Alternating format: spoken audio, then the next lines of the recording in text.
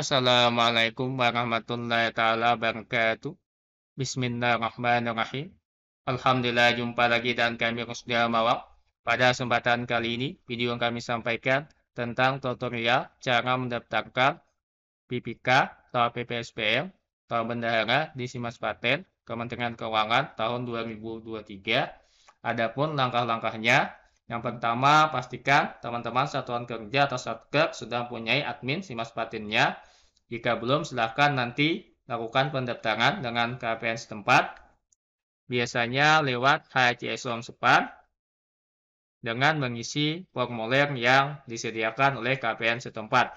Terus silahkan nanti kombinasikan dengan KPN bagaimana cara mendaftarnya. Langkah selanjutnya, teman-teman, jika sudah mempunyai admin SIMAS Patennya, kita login sebagai admin terlebih dahulu di simaspaten.kemenkio.go.id atau bisa juga lewat dashboard Digit. Coba langsung kita akses teman-teman simaspatennya. Di sini kami contohkan login melalui simaspaten.kemenkio.id. Nanti akan diperintahkan untuk login menggunakan Digit. Tinggal diklik saja teman-teman. Klik. Masukkan di sini username dan password digitnya, tinggal klik masuk.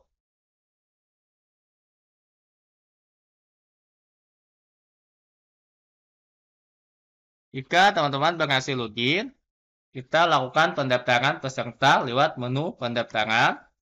Klik peserta atau user.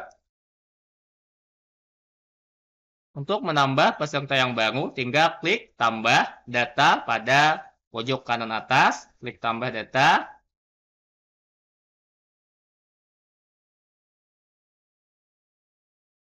silahkan nanti masukkan NIP di sini teman-teman untuk mencari nama atau peserta yang ingin kita daftarkan tadi. Masukkan saja NIP-nya. Setelah itu tinggal klik kacamata pembesar cari. Biasanya teman-teman jika NIP-nya aktif dan benar, maka otomatis akan muncul hasilnya. Langkah selanjutnya teman-teman tinggal dilengkapi isian yang putih atau yang kosong. Untuk status peserta setelah disesuaikan. Misal statusnya bukan calon, tinggal pilih PPK atau BPSPM atau BPN atau BPG yang ini. Jika calon nanti pilih yang calon. Sini kalian contohkan yang sudah peserta teman-teman. Statusnya PPK atau BPSPM bukan calon lagi. Jabatannya silakan disesuaikan, misal PPK atau bendahara atau PPSPM, silakan dipilih. Kalau contohkan sini PPK. Untuk surat usulan KPA, silahkan disesuaikan teman-teman nanti suratnya.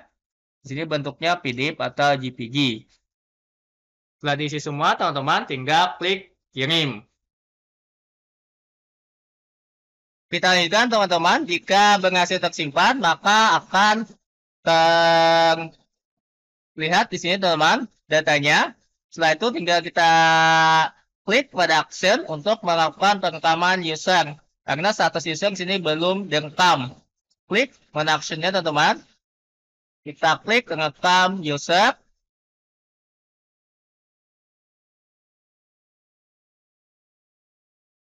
Di sini teman-teman tugasnya langsung mengirim saja, tinggal klik kirim.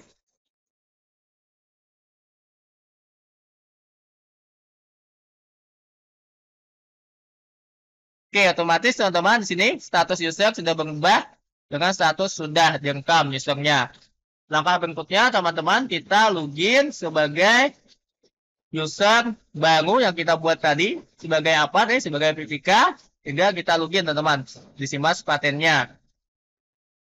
Kita lanjutkan teman-teman. Kita login sebagai peserta yang baru kita daftarkan tadi. Oke, jika berhasil login, teman-teman, silahkan nanti klik menu pendaftaran, klik usulan,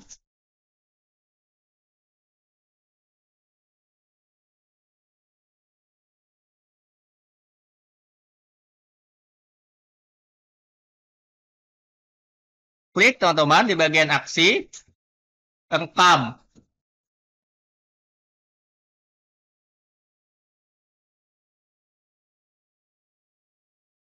teman-teman lengkapi data yang diminta atau yang diperlukan seperti foto, data kepangkatan terakhir, data kependidikan, data jabatan struktural, data pendidikan dan pelatihan atau diklat, data pengalaman sebagai pejabat pengelola APBN. Silakan dilengkapi teman-teman. Jika tidak ada, disesuaikan saja yang mana yang ada. Oke, setelah dilengkapi semua, nanti silakan disimpan kembali. Kita lanjutkan kembali teman-teman setelah datanya diisi dan dilengkapi. Sebelum dikirim atau sebelum diajukan, kita cek kelengkapan terlebih dahulu. Seperti ini. Pada menu aksinya, klik detail teman-teman.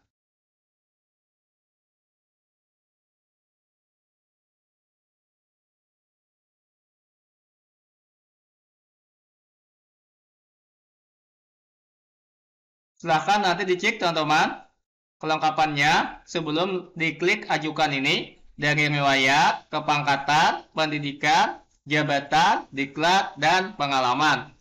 Untuk pengalaman sini teman-teman bisa ditambahkan lebih dari satu sesuai dengan pengalaman yang ada. Yang relevan atau sesuai dengan jabatan yang dipilih tadi apa? Hingga ditambahkan jika lebih dari satu pengalamannya klik menu tambah teman-teman untuk menambahkan pengalaman berikutnya. Oke teman-teman seperti itu jika sudah dicek tadi dari ayat kepangkatan, pendidikan, jabatan, diklat, dan pengalaman tinggal klik terakhir ajukan teman-teman. Oke.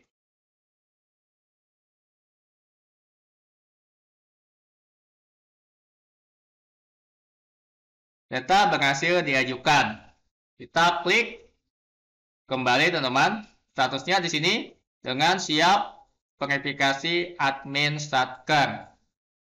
Langkah selanjutnya login lagi sebagai admin Satker untuk melakukan verifikasi datanya. Oke teman-teman, kita lanjutkan. Di sini kami sudah langsung login ke admin Simas Paten seperti di langkah pertama kali. Masuk menu pendaftaran, klik verifikasi.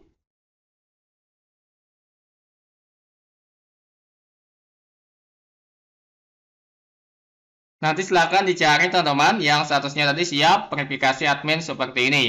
Hingga di bagian ujung teman-teman ada tombol tambah kecil tinggal diklik. Atau teman-teman jika langsung muncul di bagian ujung kanan kita perkecil terlebih dahulu tampilan Google Chrome-nya kita perkecil, biasanya akan muncul di bagian ujung kanan ini. Jika jendela Google Chrome-nya kebesaran, diperkecil teman-teman tampilannya di sini. Silahkan disesuaikan, intinya ada muncul aksi seperti ini. Atau tadi bisa juga jika kebesaran di, dipilih menu tambah kecil di ujung ciri tadi. Intinya ada aksen seperti ini, tinggal dicari aksennya, siap verifikasi.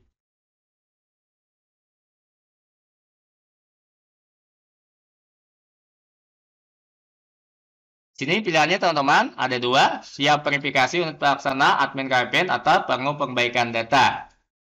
Jika sudah terasa lengkap dan benar, nanti silakan dicek kembali dan kepangkatan, pendidikan, jabatan, diklat, dan pengalaman. Sini kami contohkan langsung kami setuju saja teman-teman, tinggal dipilih lokasinya. Silakan disesuaikan KPN-nya, KPN masing-masing.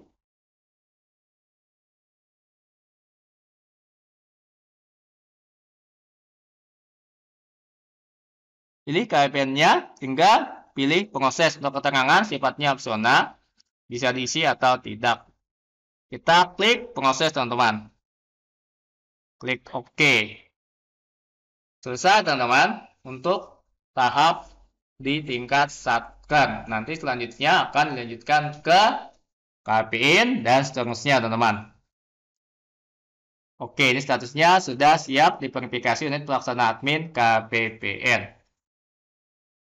Oke, sebagian saja teman-teman secara cepat dan singkatnya. Mohon maaf jika ada penjelasan yang kurang tepat atau ada kekurangannya atau ada yang salah. Semoga ada manfaatnya. Akhir kata bila taufik. Wassalamualaikum warahmatullahi wabarakatuh.